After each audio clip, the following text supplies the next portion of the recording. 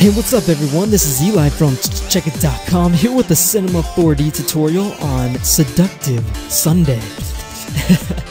this is just going to be a quick tutorial because I know people that click this video really just want to learn how to animate the camera quick and they don't want me to BS and talk for a long time.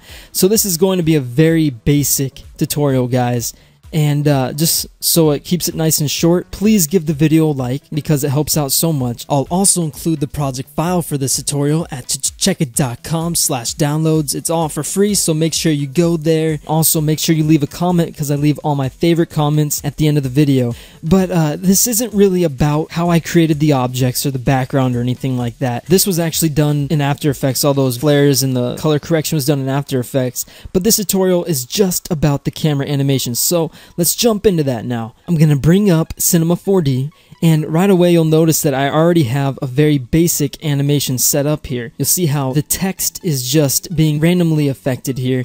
Very simple and keyframed and such. I can do a different tutorial on that, but for right now let's just focus on animating the camera around this text. So what we want to do is first just select this camera icon right here and just click on camera. This is a basic tutorial. I won't get into the other types of cameras. So what you'll notice is there's this little black box right here. This is how you toggle from your camera view and your editing view. So to explain that difference, I'm going to just use the scroll wheel to zoom out. I'm going to use the 3 key on the keyboard and I'm just to move around and you'll see that there's this camera right here. That is what we want to animate. So I can click this little black box to go into that camera and anywhere I move when I have this white box selected now is how the camera is going to animate or where it's to end up. So let's make sure that our timeline indicator is set all the way to the left and let's get our first shot set up. So I'm to use the 3 key, I'm going to use the 1 key to move around and I'm also just going to use the 2 key to zoom in a little bit. And uh, I am, this is at 1080p guys, so these little black boxes represent what is being seen and what is not being seen. Whatever is, like let's say I zoom in here, now that top of the C and all of this bottom is being cut off.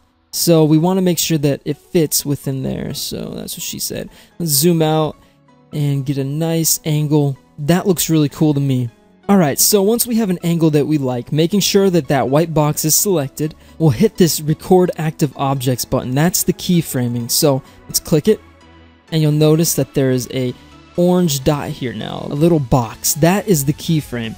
So now what we want to do is move forward and go all the way to the end.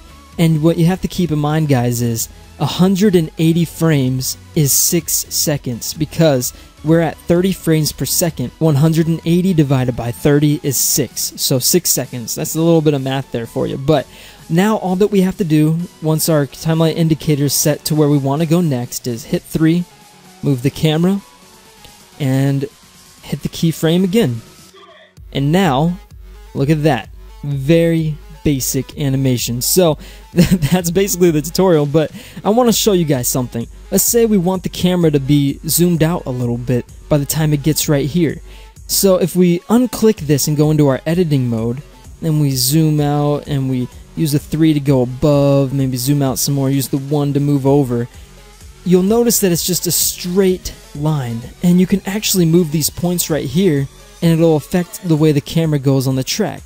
But I'm going to hit controller command Z there to undo that. But if we want to set another keyframe, all we have to do is hit the keyframe button, move the camera away, and we can just move the point back a little bit. Look at that. It's Just another way to edit the keyframe so the tutorial wasn't too crazy short. But another thing is, let's say you don't like where you put this point. Let's go back into our camera view. In order to override it, like you see how it's a little bit low, all you have to do to override it is move the camera. Let's zoom in a little bit and move it up. And there we go. And we're just going to hit the keyframe again. Boom. And now, that is our final animation. So, thanks for watching, guys. I hope you guys learned something. I know a lot of you guys asked for this tutorial. This was just the basics. If you want a more advanced tutorial, I can give it to you. Just uh, leave it in the comments. And also, if you want to know how to do this random effector, make sure you leave that in the comments too. Uh, don't forget to leave a like and leave your like a cool comment because it could end up at the end of the next video. And if you left a comment on the last video, make sure you stay tuned and watch to the end to see if your comment made it. So thanks for watching, guys. I'll see you this Tuesday. Peace.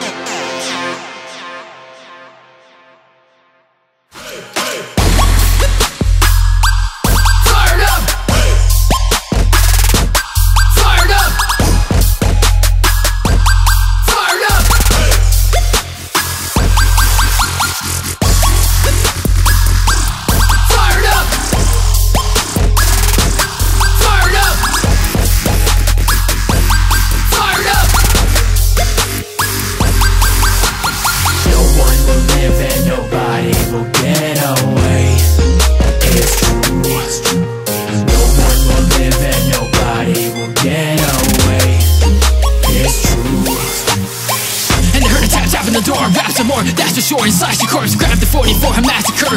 But I can't die, so I'll pass the torch. Fire in your eyes and gas on the floor. A match for my love as I laugh at your torture. You attacked a girl, and now you're trapped in my world. It ain't no hangman's joke. I fade through shade and smoke. The pain you gave was unprovoked, so I slay the gang in one stroke. These lyrics that I wrote, she heard them as I spoke, so I raced through the maze of a city to erase the faces I was laid to the grave with the crow. And they're already dead, they just don't know it yet. Cause I follow them in, explosions blow their heads. It's the devil's night while I'm watching them walk as I'm ready to fight. But I on my grind cause you know that it can't rain all the time.